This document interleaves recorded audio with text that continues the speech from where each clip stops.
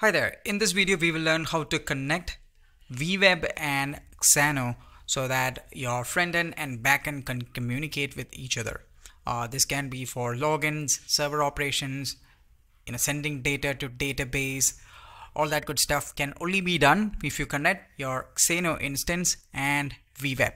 So the very first thing you need to do or understand is there are two types of connections.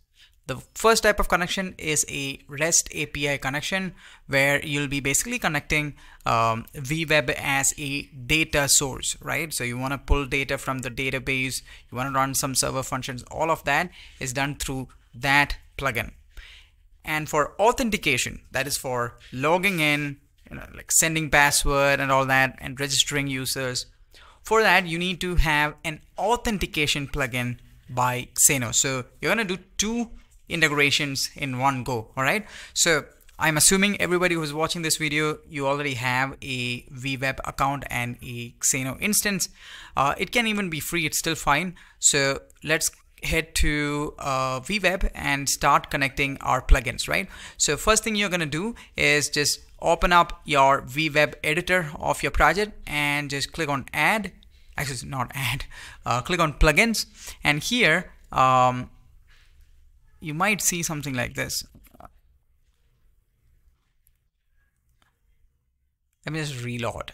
I was working on it earlier, that's why it's, it's there. But if I go to plugins now, I can see a bunch of data sources, right? I can connect REST API, Xano, Supabase, Airtable, whatever. In our case, we, we are Xano fans. So we're going to go for Xano. Uh, we will select that and click on add. Here is where we have to add a uh, metadata API key, right? So what we're going to do is we will head to Xano uh, and we will log in. If you're not in the screen, uh, make sure you click on the top left menu item and go to your instance, all right? And you need to select your instance, click on the gear icon to to get more details about your instance and from here you need to find metadata API. So we will click that and here uh, select manage access tokens right? So you're going to select that and here we are going to create a new access token for for your project right? So I'm gonna uh, call it new I'm gonna call it demo demo weweb and expires will be never in most of the cases. And these are the permissions which you are giving. In most of the cases you will give all the permissions. So I'm gonna create and it will give you your access token.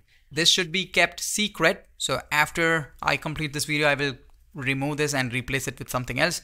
But the access token, you shouldn't give it to anybody else other than WeWeb. All right, so just copy it and you're gonna paste that access key in here. And after you paste it under instance, you'll be able to select the instances. So I just have one, so I'm gonna select my instance. I just named it my own name and the instance domain. If you are on a free plan it will basically show you a Xano domain but I have my own custom domain. That's why it's showing my domain. And workspace here you will select any of the workspaces you're working with. So on a basic paid plan they will allow you to uh, create a sample uh, I, I think three workspaces. So I, I have created a sample workspace like this. So I'm gonna use that next you're going to click on continue. And data source you don't have to do anything here. Branching don't have to do anything there as well especially if you're starting out. When you're advanced you will have a staging workspace and a production workspace. It is for advanced users. When you're starting out you you don't really need it. Uh, so we will click on continue to all these four things and then click on uh, add a connection collection. So we basically added the first part of Xano. We connected Xano. How can we verify if this connection is now active? So all you need to do is just go to plugins and uh, if you click on data sources near Xano, you should see a check mark. Right. So that is how we can be sure that uh, it is working and connected. Next is authentication. So for authentication, you have to do the same thing again. So before you do this you need to make sure inside your Xano instance there is a user table right? I think by default when you create a workspace or I think yeah I think when you create a workspace let me go into my instance and open my workspace. Xano will let you create a user table automatically like by default. If you don't have a user table what you should do is go to databases and add a table. Call it the users table. It doesn't have to be exactly that name but you you have to create a user table. And inside that user table so just click on add table and create one if you don't have one. Uh, if I open user table basically it has name has email a password field and monthly usage. That that's something I added for my test. Uh, to add a password field or name field you just click on this you know, uh, look for password field right? And uh, name and email name can be text email can be the email field right? So you need to have a user field uh, ready. Okay now let's head back to WeWeb and add our authentication plugin. So we'll go to plugins again instead of data sources this time we will go for authentication plugins. And here you can see you can use Xano, Supabase, token based auth and uh, I guess WeWeb is gonna add more providers but we're gonna stick with Xano so let's click on that click on add. And here you have to use that metadata API key. So at the beginning of the tutorial I showed you how you can get that API key from Xano by visiting instances right? So we have to use that same key or you can just go to Xano plugin and just click on this view icon to view that API key and and reuse it all right? So just copy the metadata API key and once you do that the instances should show your instance and instance domain should automatically uh, you know populate and workspace you are going to select. The workspace which you work with I'm going to select the demo work, workspace and uh, get me endpoint. So when you create a uh, a Xano workspace by default Xano will create that user table I showed you in a bit. And it also creates this authentication. It this folder will be called default right? Uh, it will also create these three authentication endpoints. Uh, one would be auth forward slash login. Another one would be auth forward slash me and auth forward slash sign up. Uh, so auth forward slash login is the endpoint or the backend um, API which will be used to log in a user. Next one is auth.me. It is used to get details about a user. And the last one is auth forward slash sign up. If you don't know what these things are for now, just um, you know, follow this tutorial because in the next few tutorials we'll learn how the backend logics of logging in and signing up all that works all right in Xano so right now we are just focusing on WeWeb so we will make use of this if you don't know how to create this if you don't have this in your instance then you can always uh, just search for the videos in my YouTube channel and there will be um, a basic authentication creation tutorial in Xano alright so uh, we will use that here right? So get me endpoint. So here you have to select uh, the ME and login endpoint would be auth forward slash login and sign up endpoint is auth forward slash sign up right? Now we're going to click on continue.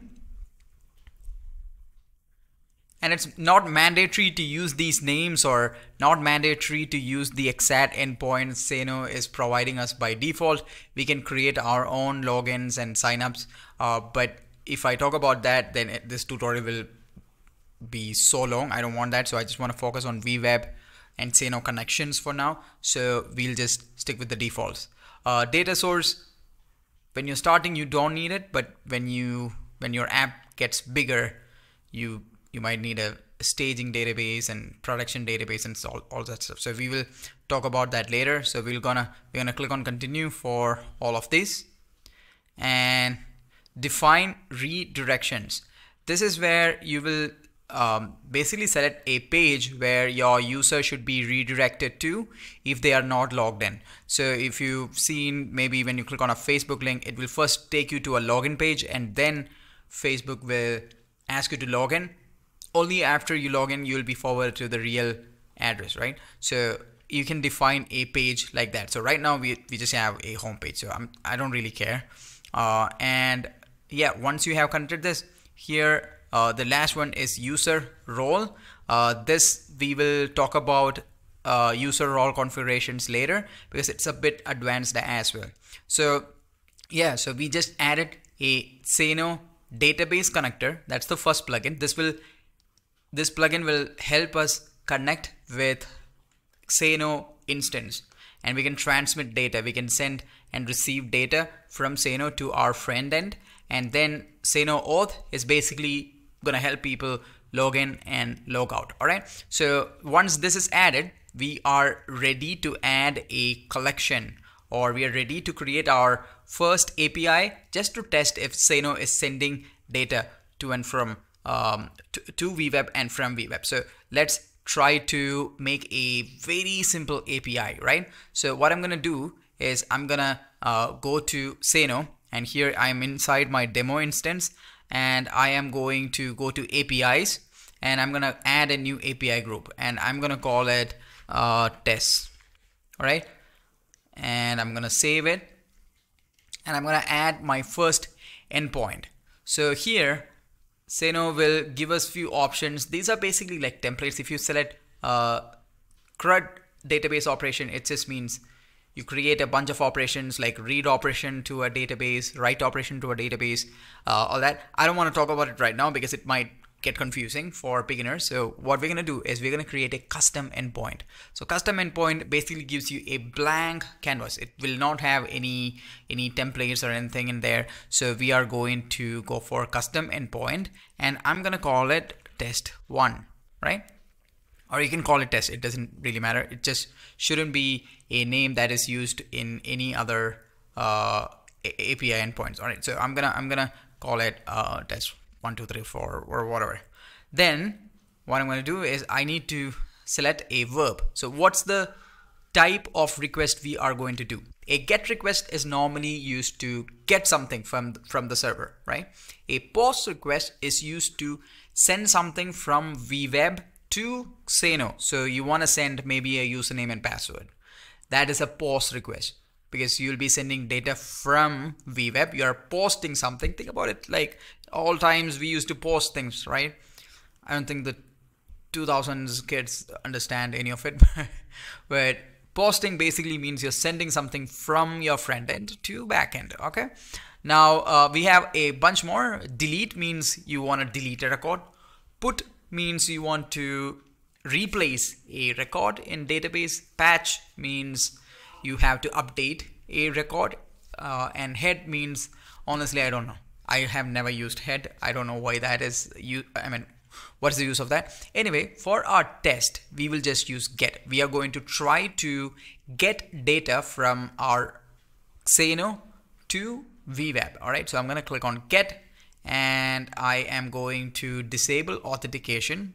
If you enable it, that means Xano will only give that data to your front end if the user is logged in. So that's a whole different story which we will cover in the next video. Um, the user authentication. So right now we will just disable it and then we're going to click on save. All right. So now we have a an endpoint get. So this is the endpoint URL here you can you can see three things. There's inputs function stack and response. So every endpoint can have inputs and every endpoint needs to have a response. So let me show you an example. If I copy this endpoint URL since this is a get endpoint I can run it in my browser so get endpoints only get endpoints. If you if you want to run post, then you need to use a tool like Postman. But get endpoints, you can just paste the URL in your browser and run it, and you can see what it returns. So here you can see it returns null. Uh, what I want to do for this demo is I want to return a, a test value right? So what I'm gonna do is I'm not gonna add any inputs. I don't want to do any functions. I just want to res respond with a a sample response. So I'm gonna click on add response and on the right hand side it's going to show a a box where you should basically type in what the response should be. So if my response is hello right? I, it's just a plain response. This is not how our responses should be but I just want to show you how normal uh, I mean I just want to show you how how to uh, build a plain text response now because it's the easiest. So I just typed in hello as our response right? Uh, and I saved it. Now here you can see this is not published yet. It's in, a, in the draft stage. So in Xano you have to publish the endpoint for it to work properly. So I'm gonna click on copy endpoint and I'm gonna uh, plus and here you can see hello right? Uh, but when servers communicate with each other front end and back end the language they use just like we we use English we understand English um, the language servers use is one of the language servers use is called JSON JSON all right? So we need to send out responses using a JSON. So this is not the standard format, but I just wanted to show you how it's going to look like on a very simple API when we send out text. Okay, now let's see if our WeWeb application can receive this data. All right. Uh, so what we're going to do is we're going to add something called a collection to test this thing out. All right. So what we're going to do is just go to data, click on new collection I'm gonna give a say uh, give the same name I, it doesn't really matter test 999 if you want to create folders it will keep things organized uh, I'm just gonna I'm not gonna create any folders description this is more for you uh, to understand what this collection actually does uh, collection basically means it's a connection between I wish they named it something else to be honest actually this is basically a connection from WeWeb to uh, your backend. In our case, it's Xano. So yeah, source will be Xano. Mode dynamic. We will explain static and cache later. We'll go for dynamic now. I'm gonna click on create. Now API group is the folder you create inside Xano for this API. So here you can see authentication, chat messages, uh, tests. So these are API groups, basically folders, right? Uh, it's a good way to organize things. So we need to select our API group. Uh, my API group is not listed, so let's just refresh. Now I can see test. So I'm going to select that. Endpoint. I'm going to select the test endpoint and I'm going to click on continue. And here I can see hello coming in from here, right? I'm going to click on continue and that is how we can confirm that a connection from Xano and WeWeb is established. Now we are uh, just connecting Xano and WeWeb through REST API. There is one more type of connection uh, that is sockets or real-time events. It's a bit more advanced, but I I don't recommend you delve into that if you're a beginner. Uh, just set up a test collection. So homework for today would be uh, sign up for Xano. They have a very generous free plan. Sign up for WeWeb. They have a free plan as well. Then connect the, the two, build your first API endpoint and send in some some data. Say hello to WeWeb from Xano. Alright, so that's the basic connection. Alright, so that is it for this tutorial. I hope this tutorial was helpful for especially beginners who want to start learning WeWeb and Xano um, I really hope this was helpful. Anyway, this is Aby, and I will speak to you in the next one.